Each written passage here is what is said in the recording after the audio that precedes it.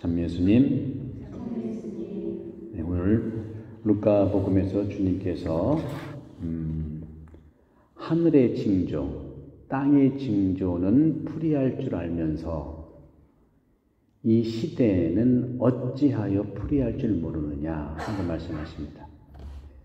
땅과 하늘의 징조를 풀이한다는 것은 보이는 것, 어, 보이는 것은 그렇게 잘 알면서 이 시대, 시대는 안 보이거든요. 그건 해석을 해야 되고 그 안에 흐름들을 안 보이는 것들을 바라봐야 되거든요. 보이는 것만 가지고 우리는 판단만 많이 하는 겁니다.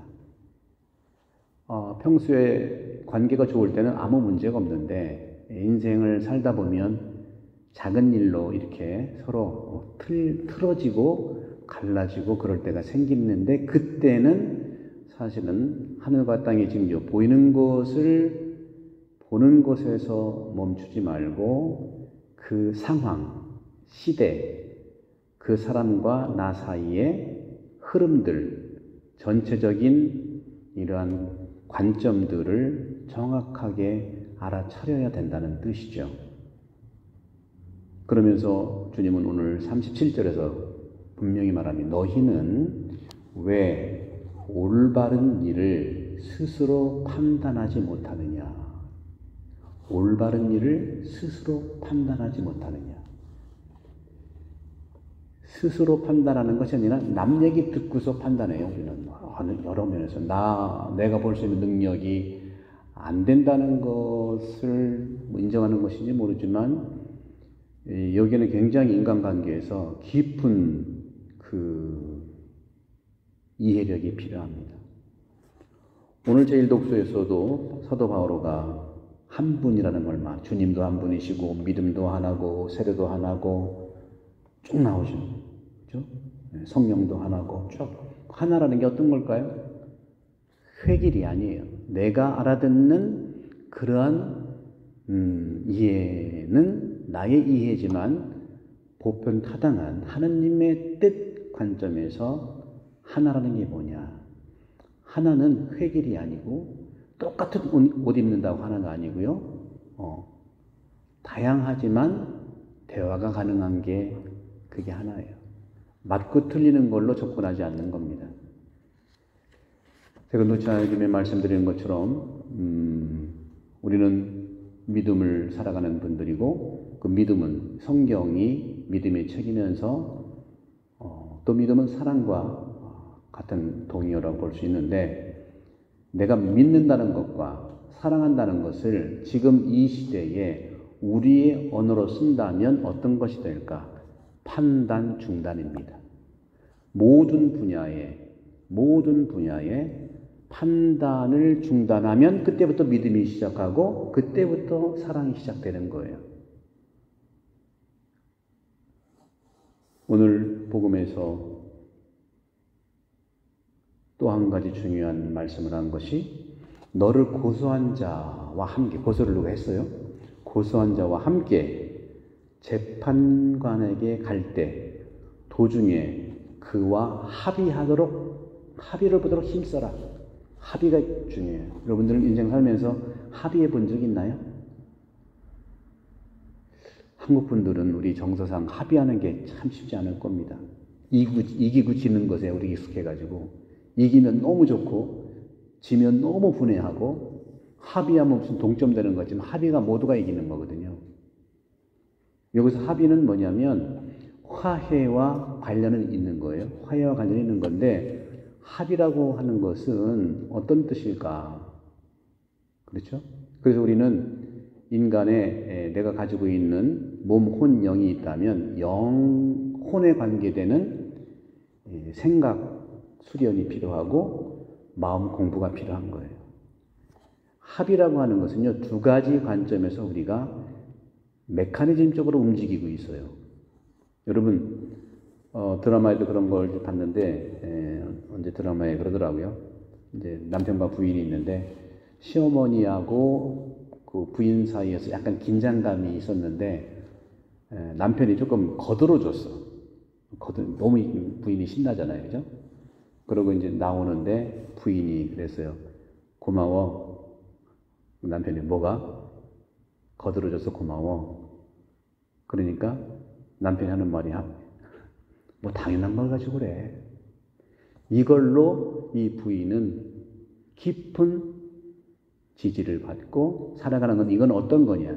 맞고 틀리는 게 중요해. 보통은 어떻게 얘기하냐면 쭉 들어보니까 그건 엄마가 맞던데 당신이 그 잘못된 거야. 누가 심판관으로 세웠냐. 특히 공동체 안에서는 누구도 검사 역할을 할 수도 없고 누구도 판사 역할을 할 수가 없어요. 근데 우리는 많은 경우에 어떤 일들이 일어나면 판사도 하고 검사도 하고 몇 년 구형도 하고 그래요. 하나님도 그렇게 하지 않거든요. 예수님도 그렇게 하지 않거든요. 음. 근데 나는 그렇게 하고 있어요. 우리 언어를 봐도 그래요. 우리 언어는 늘 맞냐 틀리냐로 일관되어 있는 부분들이 많아요.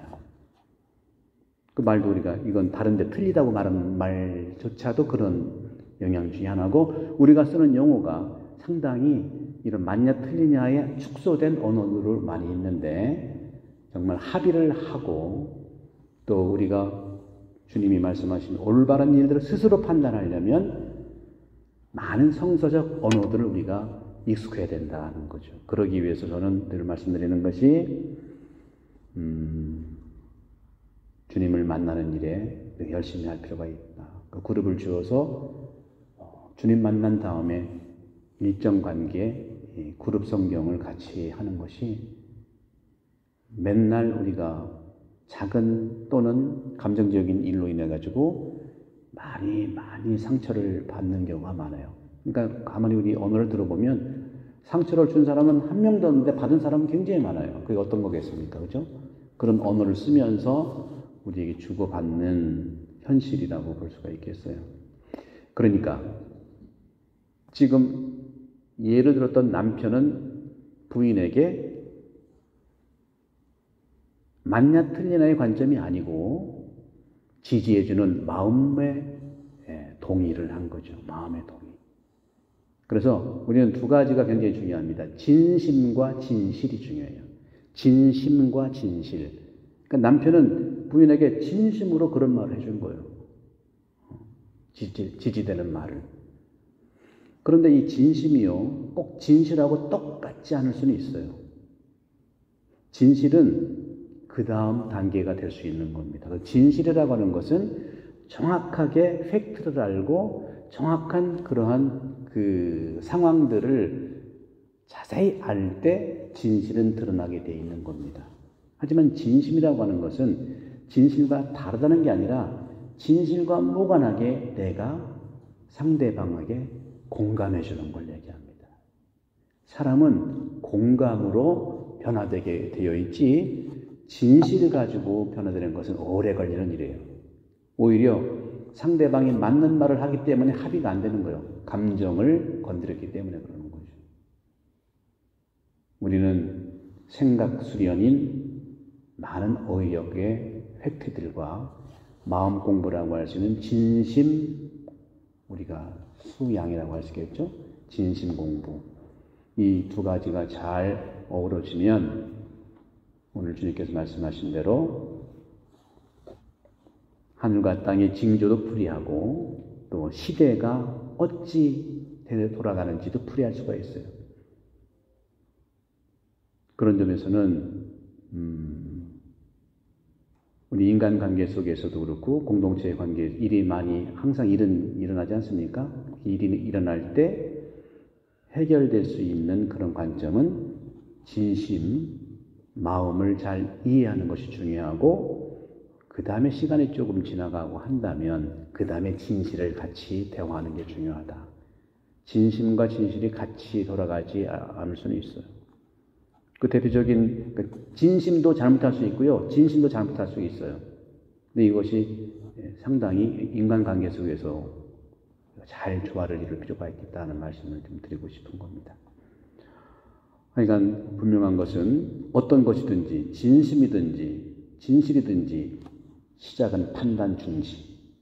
이것이 믿음의 시작이고 이것이 사랑의 시작이라는 것. 사랑한다고 하면서 우리는 판단을 어마어마하게 많이 합니다.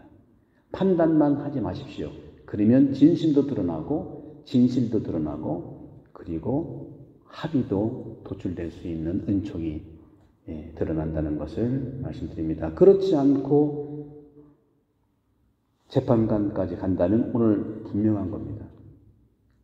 네가 마지막 한 입까지 갚기 전에는 결코 거기에서 나오지 못한다는 그러한 이미 단죄된 것이고 하는 부분들이기 때문에 그렇다 하는 거죠. 합의할 수 있는 그러한 지혜가 할수 있도록 오늘 주님께서 말씀하고 계십니다.